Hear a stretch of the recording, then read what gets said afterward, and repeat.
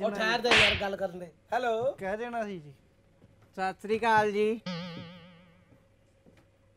ਸਤਿ ਸ੍ਰੀ ਅਕਾਲ ਭੈਣੇ ਕੀ ਹਾਲ ਆ ਅ, ਸਤਿ ਸ਼੍ਰੀ ਅਕਾਲ ਇੱਕ ਮਿੰਟ ਸਤਿ ਜੀ ਇੱਕ ਸ਼੍ਰੀ ਮਿੰਟ ਅਕਾਲ ਪਹਿਲਾਂ ਵੀਰੇ। ਗੱਲ ਕਰਦੇ ਆ ਅ, ਅ, ਸਤਿ ਸ਼੍ਰੀ ਅਕਾਲ ਜੀ ਕੌਣ ਜੀ हेलो ਹਾਂਜੀ ਹਾਂਜੀ ਕੌਣ ਸਾਹਿਬ हेलो हाँ कितना पाली साहब कितना ਵਧੀਆ ਜੀ ਵਧੀਆ ਜੀ ਸਰ ਕੌਣ ਸਾਹਿਬ ਪਾਲੀ ਸਾਹਿਬ ਕਿੱਦਾਂ? ਠੀਕ ਠਾਕ? ਬਹੁਤ ਵਧੀਆ ਸਾਹਿਬ ਤੁਸੀਂ ਸੁਣਾਓ ਕਿੱਦਾਂ ਜੀ? ਠੀਕ ਠਾਕ ਵਧੀਆ। ਮੋੜ ਦਾ ਕਿੱਦਾਂ? ਠੀਕ ਠਾਕ? ਸਭ ਸਾਰੇ ਵਧੀਆ ਸਭ ਸਭ ਮੋੜ ਮਾਰ ਤੇ ਖੜੇ ਸਭ ਠੀਕ ਹੈ ਜੀ ਵਧੀਆ ਜੀ? ਥੋੜਾ ਅੱਗੇ ਨਾਲੋਂ ਸੈੱਟ ਆ ਜੀ। ਕੱਲ ਆ ਕੇ ਕੋਲ ਖੜਾ ਹਾਂਜੀ? ਆ ਕਾਲਾ ਜਿਹਾ ਨਿਕਲ ਲਾ ਕੇ ਕੌਣ ਖੜਾ ਵੀਰ ਜੀ ਤੁਸੀਂ ਐਨਕਾ ਲਾ ਕੇ ਦੇਖੋ ਕੌਣ ਖੜਾ। ਕਿਉਂਕਿ ਉਹਨੇ ਤਾਂ ਅੜਕਾ ਲਾਈਆਂ ਨਹੀਂ ਹੋਈਆਂ। ਆ ਕਾਲਾ ਜਿਹਾ ਖੜਾ ਖੜਾ? ਤੇ ਜਾਂ ਤੁਹਾਨੂੰ ਪਤਾ ਹੀ ਹੈ ਕਿ ਕਾਲਾ ਖੜਾ ਪਰ ਕਾਲਾ ਜਿਹਾ ਕਿਹੜਾ ਖੜਾ ਉਹ ਕੀ ਗੱਲ ਹੋਈ ਭਲਾ ਮਤਲਬ? ਇਹ ਕੁਐਸਚਨ ਹੀ ਨਹੀਂ ਬਣਿਆ। ਕਹਿੰਦੇ ਤੁਸੀਂ ਆਪੇ ਆਨਸਰ ਦੇ ਕੇ ਪੁੱਛਣ ਦਿਓ ਇਹ ਕਾਲਾ ਜਿਹਾ ਕਿਹੜਾ ਖੜਾ? ਮਤਲਬ ਕਾਲਾ ਹੀ ਖੜਾ। ਕਾਲਾ ਜਾਂ ਕਾਲਾ ਖੜਾ? ਉਹ ਕਾਲਾ ਖੜਾ। ਹਾਂਜੀ। ਹੋਰ ਕਿੱਦਾਂ ਠੀਕ ਠਾਕ ਹਾਂਜੀ ਬਹੁਤ ਵਧੀਆ। ਤੁਸੀਂ ਸਰਾਂ ਬੜੇ ਸਲੋ ਬੋਲ ਰਹੇ ਹੋ ਕੀ ਹੋਇਆ ਠੀਕ ਹੋ? ਹਾਂਜੀ ਠੀਕ ਠਾਕ ਵਧੀਆ ਭਾਜੀ ਠੀਕ ਠਾਕ ਤੁਸੀਂ ਸੁਣਾਓ ਕਿੱਦਾਂ ਠੀਕ ਆ? ਸ਼ੋ ਅੱਛਾ ਲੱਗ ਰਿਹਾ ਤੁਹਾਨੂੰ? ਭਾਜੀ ਬੜਾ ਵਧੀਆ ਲੱਗਦਾ ਮੈਂ ਤੇ ਹਰ ਰੋਜ਼ ਵੇਖਦਾ ਕੰਮ ਤੋਂ ਆ ਕੇ ਹਰ ਰੋਜ਼ ਵੇਖਦਾ ਫੋਨ ਪਹਿਲੀ ਵਾਰੀ ਲਾਇਆ। ਚਲੋ ਮਿਹਰਬਾਨੀ ਜੀ sir thank you so much ਬਸ ਐਦਾਂ ਹੀ ਸ਼ੋਅ ਇੰਜੋਏ ਕਰਦੇ ਰਹੋ ਪਿਆਰ ਕਰਦੇ ਰਹੋ ਸ਼ੋਅ ਨੂੰ ਸਪੋਰਟ ਕਰਦੇ ਰਹੋ ਜੀ ਧੰਨਵਾਦ। ਹਾਂਜੀ। ਹਾਂਜੀ ਵੀਰ ਜੀ। ਹਾਂਜੀ ਵੀਰ ਜੀ ਤੁਸੀਂ ਕੌਣ ਜੀ? ਮੈਨੂੰ ਡਰ ਲੱਗ ਰਹੀ ਜੀ। ਕਿਹਦੇ ਕੋਲੋਂ? ਇਧਰੋਂ ਜੀ ਇਹਨਾਂ ਤੋਂ ਜੀ। ਡਰ ਲੱਗਣ ਵਾਲੀ ਕਿਹੜੀ ਗੱਲ ਆ? ਪੁੱਤਰ ਬੰਦਾ ਹੀ ਹੋਵੇ ਫਿਰ ਕਿਹੜੀ ਗੱਲ ਹੈ? ਹਾਂਜੀ ਕੀ ਨਾਮ ਹੈ ਜੀ ਤੁਹਾਡਾ? ਮੇਰਾ ਨਾਮ ਪੌਲ। ਹੈ? ਗਿਵ ਮੀ ਅ ਕਾਲ ਕੌਣ ਹੋ ਤੁਸੀਂ? ਕੀ what do you mean by give me a call ਨਾ ਮੈਂ ਪਾਸ ਤੇ ਨਾ ਮੈਂ ਫੇਲ ਮੈਂ ਕੰਪਾਰਟਮੈਂਟ ਮਤਲਬ ਮੈਂ ਐਕਸਕਿਊਜ਼ ਮੀ ਮੈਂ ਦੇਖੋ ਮੈਂ ਤੁਹਾਨੂੰ ਸਮਝ ਨਹੀਂ ਪਾਇਆ। ਤੁਸੀਂ ਮੈਨੂੰ ਦੁਬਾਰਾ ਦੱਸੋ ਕੌਣ ਹੋ ਤੁਸੀਂ? ਸੀਰੀਅਸਲੀ ਦੱਸੋ। ਮੈਂ ਫੈਸ਼ਨ ਡਿਜ਼ਾਈਨਰ ਆ ਵੀਰ ਜੀ। ਆਪਣਾ origignal ਨਾਮ ਦੱਸੋ। ਪੌਲ। ਵਾਟ ਯੂ ਮੀਨ ਯਾਰ ਇਦਾਂ ਦੀ ਚੀਜ਼ ਕਦੀ ਬੜੀ ਤੇ ਨਹੀਂ ਸਾਡੇ ਇੱਥੇ। ਸਰਾਂਦੀ ਮੈਨੂੰ ਥੋੜੀ ਥੋੜੀ ਮੈਡਮ ਵਰਗੀ ਲੱਗਦੀ ਚੀਜ਼। ਹਾਏ ਹਾਏ ਕੌਣ ਆ ਛੋਟੂ ਹਲਵਾਈ ਦਾ ਮੁੰਡਾ? ਜ਼ਰੂਰੀ ਨਹੀਂ ਹੁੰਦਾ ਛੋਟੂ ਹਲਮਾਈ ਦਾ ਮੁੰਡਾ ਹੋਵੇ ਤੇ ਛੋਟਾ ਹੀ ਹੁੰਦਾ ਉਹ।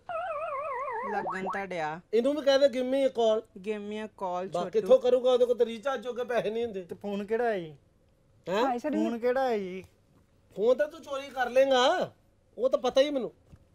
ਇੱਕ ਮਿੰਟ ਭਾਜੀ ਕੋਈ ਬਹਿਣ ਨੂੰ ਜਗ੍ਹਾ ਚਾਹੀਦੀ ਹੈ ਕਿ ਲਿਟਣ ਨੂੰ ਚਾਹੀਦੀ ਹੈ? ਵੀਰੇ ਬੈਠਣ ਲਈ ਕੁਰਸੀ ਹੈ ਨਹੀਂ ਤੁਹਾਡੇ ਕੋਲੇ। ਹਾਂ? ਹੈ ਨਹੀਂ ਕੁਰਸੀ ਤੁਹਾਡੇ ਕੋਲੇ। ਨਹੀਂ ਆ ਮੈਂ ਇਸ ਤਰ੍ਹਾਂ ਕੋ ਗਈ ਆ ਠੀਕ ਆਣ। ਕੀ ਹੋਇਆ ਮੂੰਹ 'ਚ ਛਾਲੇ ਹੋਏ ਤੇਰੇ? ਸਾਡੀਆਂ ਰੀਸਾਂ ਲਾਣ ਡਿਆ। ਨਹੀਂ ਮੈਂ ਮੇਰੀ ਗੱਲ ਸੁਣੋ। ਮੈਂ ਤੁਹਾਡੀਆਂ ਰੀਸਾਂ ਨਹੀਂ ਲਾ ਰਿਹਾ। ਮੈਂ ਤੁਹਾਨੂੰ ਪੁੱਛ ਰਿਹਾ ਕਿ ਅੱਛਾ ਸੌਰੀ ਤੁਸੀਂ ਫੈਸ਼ਨ ਡਿਜ਼ਾਈਨਰ ਹੋ। ਵੈਸੇ ਵੀ ਤੁਹਾਡੇ ਵਰਗੇ ਸਾੜੀ ਸਕਦੇ ਰੀਸ ਤਾਂ ਸਾਡੇ ਬਸ ਦੀ ਹੈ ਨਹੀਂਗੀ ਨਹੀਂ ਪਰ ਜੇ ਮੈਂ ਗੱਲ ਕਰਾਂ ਤੇ ਸੜੇ ਤੇ ਤੁਸੀਂ ਲੱਗਣ ਡਏ। ਹੂੰ। ਇਦਾਂ ਤਾਂ ਤੁਸੀਂ ਕਿਤੇ ਭਖਦੇ ਤੰਦੂਰ ਚੋਂ ਆਪ ਤੇ ਨਹੀਂ ਨਾਲ ਕੱਢਣ ਲੱਗੇ ਕਿਤੇ? ਤੁਹਾਡੇ ਵਰਗੇ ਨਾ ਤੁਹਾਡੇ ਵਰਗੇ ਉੱਤੋਂ ਕੱਪੜੇ ਪਾ ਲੈਂਦੇ ਪੂਰੇ ਅਮੀਰਾਂ ਵਾਲੇ ਤੇ ਥੱਲੇ ਪਾਟੀ ਬਣਾਣੀ ਹੁੰਦੀ ਆ। ਉਹਨੂੰ ਨਹੀਂ ਚੇਂਜ ਕਰਨਗੇ।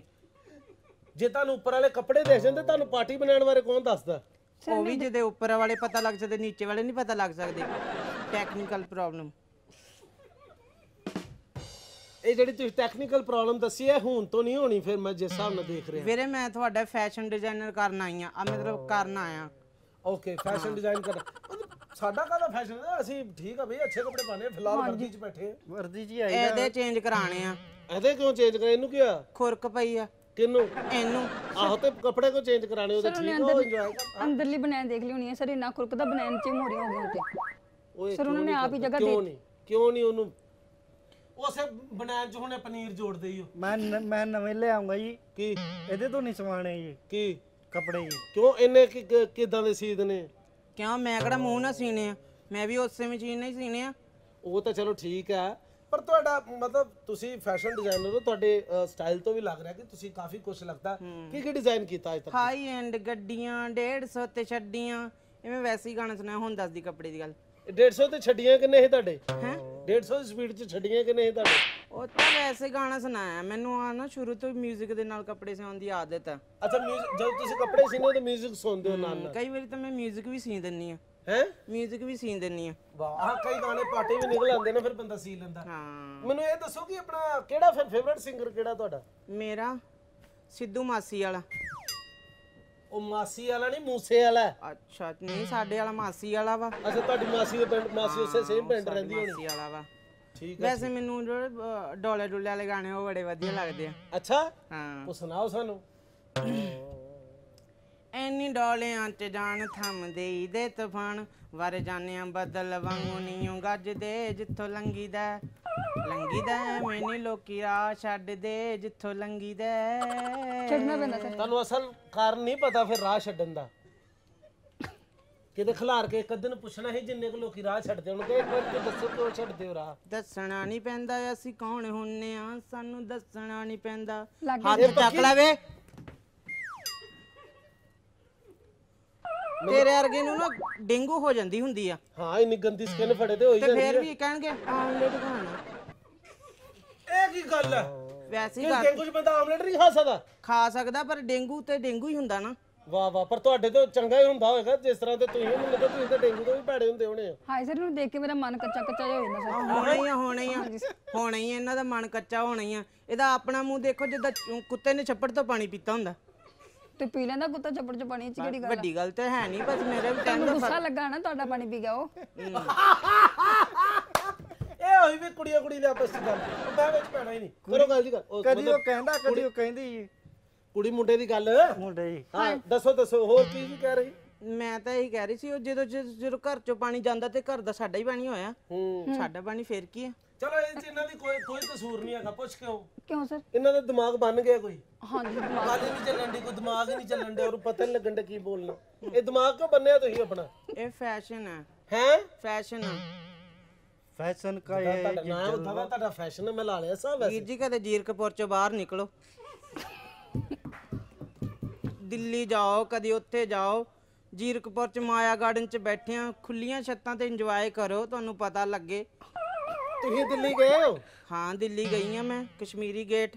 ਨਹੀਂ ਮੈਂ ਤਾਂ ਤੁਹਾਨੂੰ ਇੰਡੀਆ ਗੇਟ ਤੋਂ ਪਿੱਛੇ ਜਿਹੜਾ ਪੁਰਾਣਾ ਬੱਸ ਅੱਡਾ ਉੱਥੇ ਦੇਖਿਆ। ਤੇ ਉਹ ਵੀ ਤਾਂ ਦਿੱਲੀ ਹੈ। ਹੈ ਤਾਂ ਦਿੱਲੀ ਹੈ ਪਰ ਉੱਥੇ ਕਾਫੀ ਹੂੰ। ਮੈਂ ਚੱਲ ਵੇ। ਆ ਬਿੱਲੀ ਵਰਗਾ ਮੂੰਹ ਲੈ ਕੇ ਦਿੱਲੀ ਦੀਆਂ ਗੱਲਾਂ ਕਰੀ ਇਹਨੂੰ ਯਾਰ ਬੰਦਾ ਗੱਲ ਤੇ ਕਰ ਹੀ ਸਕਦਾ ਨਾ ਯਾਰ। ਠੀਕ ਆ ਕਰ ਫਿਰ। ਹਾਂ ਸੱਚ ਮੈਂ ਇਹਦੇ ਵਾਸਤੇ ਉਹ ਕੋਟ ਹੱਥ ਦੂਰ ਰੱਖ ਯਾਰ। ਤੂੰ ਤਾਂ ਐਂ ਕਰਦਾ ਜਿਵੇਂ ਮੈਂ 150 ਵਾਟ ਦਾ ਕਰੰਟ ਲਾਤਾ ਹੁੰਦਾ। ਉਹ ਹੱਥ ਦੂਰ ਨੂੰ ਕੀ ਹੋ ਗਿਆ ਤੈਨੂੰ? ਡਰ ਲੱਗਦਾ ਮੈਨੂੰ। ਦਰ ਨੂੰ ਕਿ ਉਹਨੇ ਤੈਨੂੰ ਖਡਾਉਣ ਲੱਗ ਜਾਣਾ ਹੈ? ਵੇ ਕਾਨੂੰਨ ਤੋਂ ਡਰੀਦਾ ਹੁੰਦਾ। ਹਾਂ। ਕਾਨੂੰਨ ਆਪਣੀ ਆ। ਹਾਂ। ਤੇਰੇ ਤੋਂ ਲੱਗਦਾ ਡਰ ਮੈਨੂੰ ਵੀ। ਕਿਨੂੰ ਐਡੇ ਤੇ ਸਰ ਡਰ ਲੱਗਦਾ ਮੈਨੂੰ। ਇਹ ਤੋਂ ਕਿਉਂ ਡਰਦਾ ਪਿਆ ਤੈਨੂੰ? ਸਰ ਦੇਖੋ ਹੋਰ ਹੀ ਤਰ੍ਹਾਂ ਮਤਲਬ ਇਹ ਕੀ ਸਰ ਮਤਲਬ? ਪਤਾ ਨਹੀਂ ਮੈਨੂੰ ਕੀ ਪਤਾ ਇਹਨੂੰ ਹੀ ਹਾਂ ਪਤਾ ਸਰ ਦੇਖੋ ਨਾ ਆ ਹੁੰਦਾ ਸਰ ਹੁਸਨ ਮਤਲਬ ਪਰਮਾਤਮਾ ਨੇ ਅਸਾਂ ਆਰਾਮ ਨਾਲ ਡੇਢ ਦੋ ਮਹੀਨੇ ਲਾ ਕੇ ਤਿਆਰ ਕੀਤਾ। ਇਹਨੂੰ ਤਾਂ ਕਾਲੀ ਦੇ ਵਿੱਚ ਹੀ ਭੇਜਤਾ ਜਦੋਂ ਭੇਜਣ ਲੱਗੇ ਸੀ ਨਾ ਰੱਬ ਤੇ ਉਹਨਾਂ ਨੇ ਪੁੱਛਿਆ ਮਤਲਬ ਅਸਿਸਟੈਂਟ ਨੂੰ ਕਹਿੰਦੇ ਤੇ ਚ ਜਾਨ ਪਾਉਣੀ ਕਿ ਤਸ਼ਮੇ ਬੰਨਣੇ ਆ। ਦੇਖੋ ਇਧਰ ਹੁਸਨ ਦੇਖੋ ਇਹਦਾ। ਹਾਂਜੀ ਹਾਂਜੀ। ਇਹ ਜੀ ਨਾ ਬਸੰਤ ਰੁੱਤ ਵਾਲੇ ਦਿਨ ਵਰਤ ਰੱਖ ਲੈਂਦੀਆਂ। ਤੇ ਦਸ ਮਰ ਜਾਣਾ ਰੱਖਿਆ ਜਾਂਦਾ ਉਸ ਦਿਨ ਕੀ ਪਤਾ ਸੌਂ ਹਰ ਗੱਲ ਤੇ ਰੱਖਿਆ ਹੀ ਜਾਂਦਾ ਕਦੇ ਕਹਿ ਵੀ ਦਿਆ ਕਰ ਹਾਂ ਗਲਤ ਆ। ਹੈਲੋ।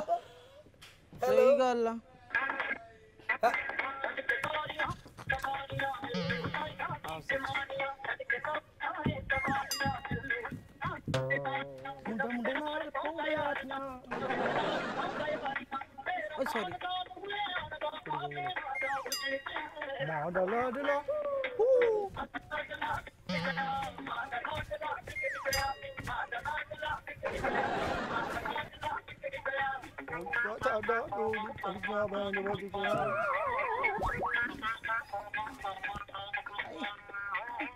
ਬਸ ਕਰ ਕੋਈ ਨਾੜ ਤੇ ਨਾੜ ਨਾ ਚੜਾ ਬੈਠੀ।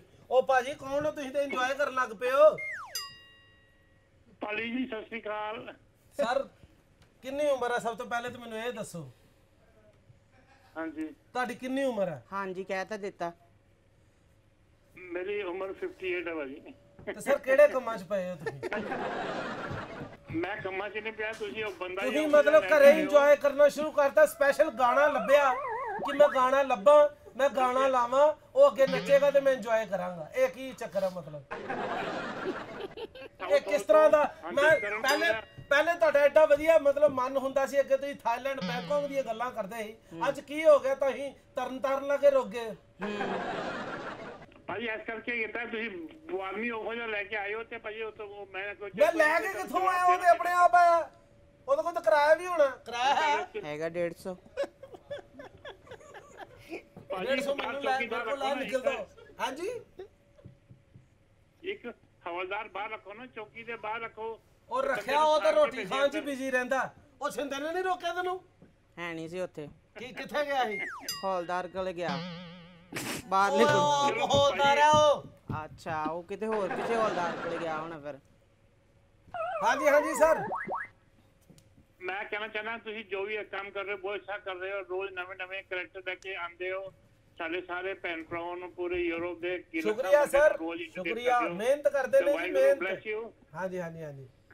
ਤੇ ਵਾਹਿਗੁਰੂ ਬlesਸ ਯੂ ਭਾਈ ਸਾਰਿਆਂ ਨੂੰ। ਤੇ thank you so much all the best thank you so much sir thank you so much thank you so much thank you ਹਾਂਜੀ। ਹੁਣ ਮੈਨੂੰ ਇਹ ਦੱਸੋ ਚਲੋ ਤੁਸੀਂ ਆ ਗਏ ਹੋ। ਹੂੰ। ਕੀ ਰਿਪੋਰਟ ਕੀ ਹੈ? ਤੁਹਾਡੀ ਕੀ ਕਰਨਾ ਚਾਹੁੰਦੇ ਹੋ? ਕਿਉਂ ਆਏ ਹੋ? ਰਿਪੋਰਟ ਕੋਈ ਨਹੀਂ ਬਸ ਇਹਦੇ ਬਾਰੇ ਪਤਾ ਲੱਗਾ ਸੀਗਾ ਸਾਨੂੰ। ਕੋਈ ਮਾਸੀ ਜੀ ਆ ਉਹਨਾਂ ਨੇ ਫੋਨ ਕੀਤਾ ਸੀ। ਕਹਿੰਦੇ ਵੀ ਇਹਨੂੰ ਕੱਪੜੇ ਥੋੜੇ ਬੁੱਲ ਤੁਹਾਡਾ ਉਦਾਂ ਹੀ ਮੋਟਾ ਹੈ ਕਿ ਕਿਸੇ ਨੇ ਪਲਾਸ ਪਾ ਕੇ ਖਿੱਚਿਆ ਇਹ? ਵਾਟ ਯੂ ਮੀਨ ਬੜੀ ਸਿੰਪਲ ਗੱਲ ਹੈ ਕਿ ਬੁੱਲ ਤੁਹਾਡਾ ਏਦਾਂ ਇੱਥੇ ਵੈਸੇ ਮੋਟਾ ਕਿ ਕਿਸੇ ਨੇ ਪਲਾਸ ਪਾ ਕੇ ਖਿੱਚਿਆ ਇਹ? ਹੁਣ ਨਾ ਮੈਂ ਕੁਝ ਨਹੀਂ ਕਹਿ ਸਕਦੀ ਇਹਦੇ ਬਾਰੇ ਠੀਕ ਹੈ ਨਾ? ਕਿਉਂ? ਗੱਲ ਕੁਝ ਹੋਰ ਆਈ ਸੀ। ਅੱਛਾ ਚਲੋ ਜਿਹੜੀ ਆਈ ਸੀ ਉਹ ਕਰ ਲਓ। ਖੁੱਲੀ ਕੈਂਚੀ ਵਰਗਾ ਮੂੰਹ ਆ ਤੁਹਾਡਾ। ਚਲੋ। ਹੈਗਾ ਸਰ ਹੈਗਾ। ਯਾਰ ਅੱਗੇ ਨਹੀਂ ਦੱਸਿਆ ਕਿਸੇ ਨੇ ਮੈਂ। ਸਰ ਧਿਆਨ ਨਹੀਂ ਦਿੱਤਾ ਨਾ ਗੌਰ ਨਾਲ ਉਹਨੇ ਧਿਆਨ ਉਹਦਾ ਕੈਂਚੀ ਵਾਲੀ ਮੂੰਹ ਨਾਲ। ਜਨਾਬ ਜਨਾਬ ਈਜੀ ਲੈ ਰਹੀ ਹੈ ਜੀ ਲੈ ਰਿਹਾ ਜੀ ਲੈ ਰਿਹਾ। ਉੱਤਰ ਪਹਿਲੇ ਕਨਫਰਮ ਕਰ ਲੈ। ਹੁਣ ਮੈਨੂੰ ਵੀ ਨਹੀਂ ਕਨਫਰਮ ਜੀ ਲੈ ਕੇ ਲੈ ਲੈ ਰਹੀ ਹੈ ਕਿ ਲੈ ਰਿਹਾ ਜੀ। ਤੇ ਜਦੋਂ ਫਿਰ ਪ੍ਰੋਪਰ ਮਤਲਬ ਜੋ ਵੀ ਕਰ ਰਿਹਾ ਈਜੀ ਕਰ ਰਿਹਾ ਜੀ। ਅੱਛਾ ਮੈਨੂੰ ਦੱਸੋ ਕਿ ਇਹਨਾਂ ਨੇ ਸਵਾਣੀ ਸ਼ੇਰਵਾਨੀ। ਹੈ? ਸ਼ੇਰਵਾਨੀ ਕਿੰਨਾ ਨੇ ਸਵਾਣੀ ਹੈ ਕੁੱਤੇ ਵਾਲੀ ਸੋਣੀ ਆ। ਤੇਰੇ ਅਰਗੀਆਂ ਦੀ ਕੁੱਤੇ ਖਾਣੀ ਹੁੰਦੀ। ਠੀਕ ਆ ਕੁੱਤੇ ਵਾਨੀ ਨਹੀਂ ਸੁਣਾਣੀ ਤੂੰ ਕੁੱਤੇ ਖਾਣੀ ਕਰਾਣੀ ਮੈਨੂੰ ਲੱਗਦਾ। same ਚੁੱਪ ਰਹਿ ਹਾਂ ਅੱਗੇ ਘੱਟ ਬੋਲਣ ਡਿਆ? ਮੂੰਹ ਦੀ ਗੱਲ ਛੀਨ ਲਈ ਤੁਸੀਂ। ਆ ਮੂੰਹ ਛੀਨ ਵੀ ਨਹੀਂ ਨਾ ਸਕਦਾ ਗੰਦਾ ਵੀ ਦੇਖੋ ਕਿੰਨਾ ਮੈਂ ਗੱਲ ਹੀ ਛੀਨ ਕੇ ਜਾ ਰਹੀ। ਮੂੰਹ ਚ ਲਾਲਾ ਡਿੱਗਦੀਆਂ। ਕਿਹਦੇ? ਵਿਰਲਾ ਕੀ ਹੋਇਆ? ਦਰਦ ਹੋਣ ਡਈ। ਦਵਾਈ ਲੈ ਕੇ ਆਉਣੀ ਸੀ। ਕਾਦੀ ਦਰਦ ਹੋਣ ਡਈ ਤੁਹਾਡੇ? ਰੋਣ ਕਿਉਂ ਲੱਗ ਪਏ ਤੁਸੀਂ। ਹੈ? ਇਹਨੂੰ ਤੇ ਹੱਥ ਲਾ ਦੇ ਵੀ ਨਹੀਂ ਸਕਦੇ ਦਰਦ ਕਿੱਥੇ ਹੁੰਦੀ ਜੀ ਮਤਲਬ।